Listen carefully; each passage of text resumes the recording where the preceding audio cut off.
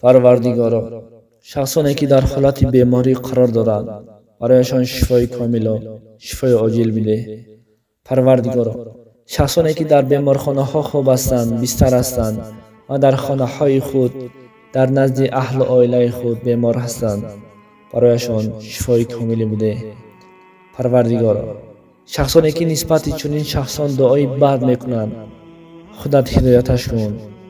پروردگارا دعایی که ما نسبتی دیگر می‌کنیم. دعاهای ما را و درگاهت قبول کن. السلام علیکم بر کل برادران خواهران عزیز و شخصانی که من را میشنوید. بر همه شما سلامتی خوان هستم. بیزار پروردگار همیشه شما را سلامت نگه بیدارد راستی بعضی کمنتریه ها را خواندیم. بعضی نوارها را دیدیم که بگویند قدم قربان در دم مرگ است. Албатта ҳатман ҳама ӯро тамошо мекунанд аммо нисбаташ гӯем ки биёед ба қадами қурбон дуо кунем ҳеҷ кас тамошо намекунад ва аз ҷумла мо низ чунин сабт кардем.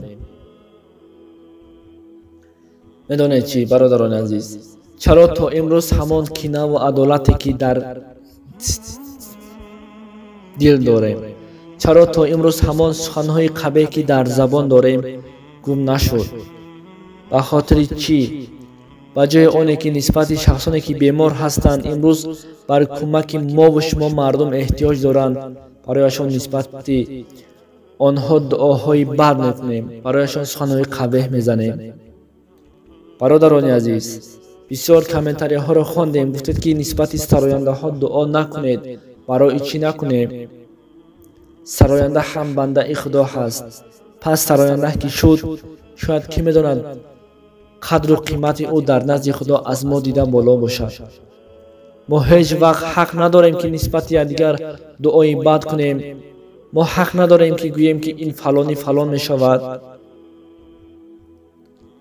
همه در نزد خداوند یکی است و قدر و قیمت همه ما در نزد خداوند معلوم است برای همین بیایید نسبت شخصانی که از دنیا گذشتند حافظ بودند سراینده بودند که نااختیار بودند و هر کسی هم نباشد دعا کنه.